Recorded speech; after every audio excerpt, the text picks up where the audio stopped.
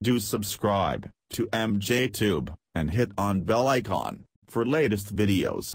Hey guys, I have received little update for .NET 3.5 and .NET 4.7.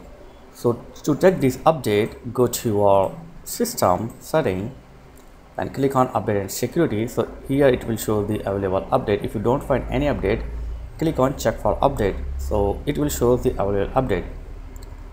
So as you can see, I got the update for .NET Framework 3.5 and 4.7 so you can schedule your restart or if you are free then you can click on restart now. So before restart now close your all programs and files and then you can do the restart now. Okay.